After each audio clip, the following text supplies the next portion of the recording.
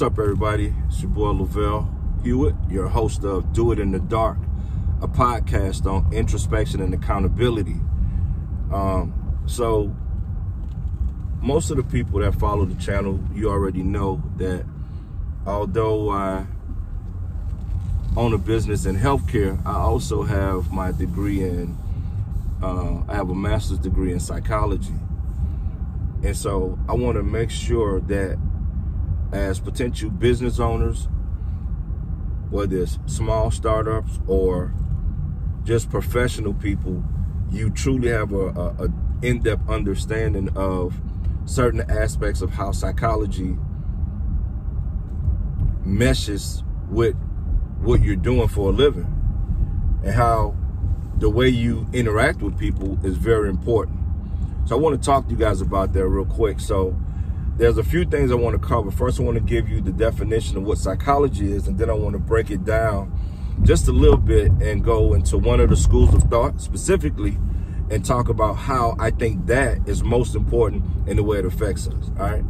So stick with me. I got to keep this video under five minutes. According to YouTube, the algorithm picks up things that are, you know, shorter in time, but I want to make sure that this is in depth with the uh, information. So let's get into it, man.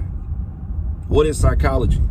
So psychology is the scientific study of the mind and behavior, right? It is the study of the mind and behavior. And within that scope, there are other schools of thought, other disciplines under that umbrella.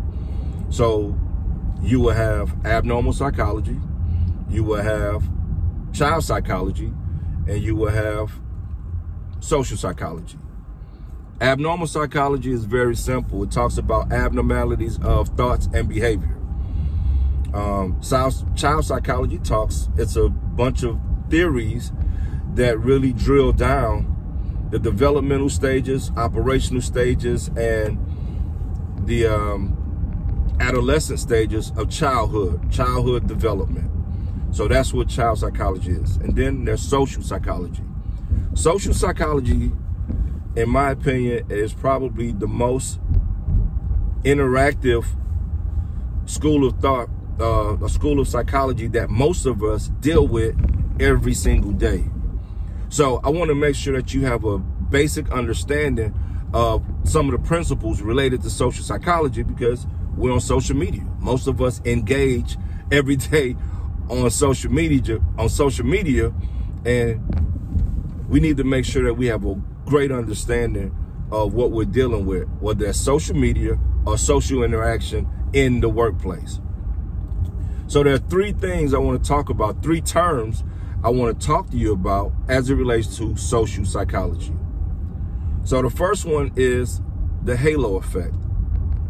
The halo effect is anytime you are giving someone credit for something they didn't deserve like one like they may have one characteristic or one trait that is impressive to you but because you are so enamored by that one characteristic trait that you deem them to have you give them credit for other characteristics that they have not earned yet right? So let me give you an example.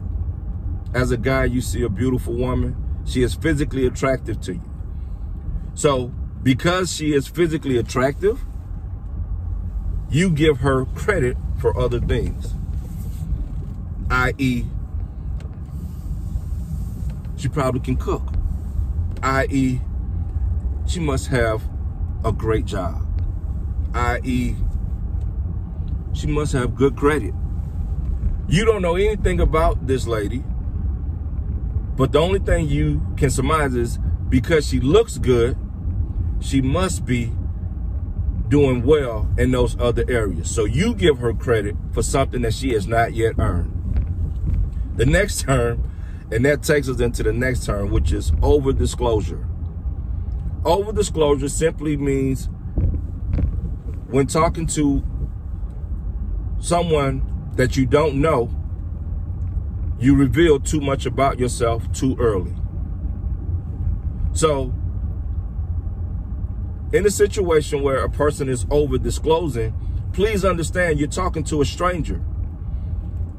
Now, if you put those two together, because of the halo effect, you see a nice looking guy or girl, you jump in their DMs, they respond, and now you are having a phone conversation. In that conversation, you tell them frame by frame what happened in your last relationship.